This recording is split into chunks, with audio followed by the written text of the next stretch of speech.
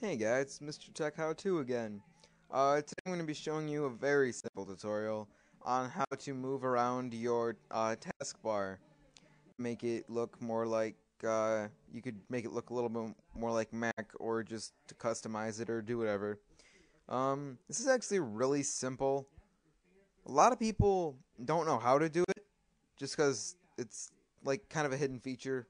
Like Windows doesn't exactly tell you and so you just kind of have to do it on your own. But so all you gotta do is uh, go to an open space in your taskbar, like right here, where you don't have icons or anything like that, and then click it, hold down, and just move it around. Just move your mouse, and like let's say you want it at the top because you're kind of a Mac person, and you're like, I'm gonna make Windows look more like Mac, and so you stick it up here.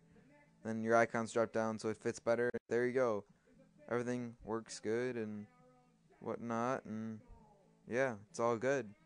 So, um, that's pretty much it. Uh, then it just saves there, and that's about it. Pretty simple, right? Yep.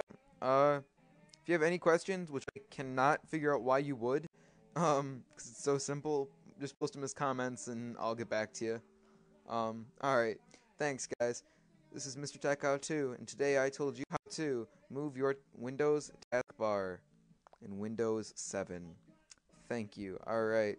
Um, thank you so much for watching, and please subscribe.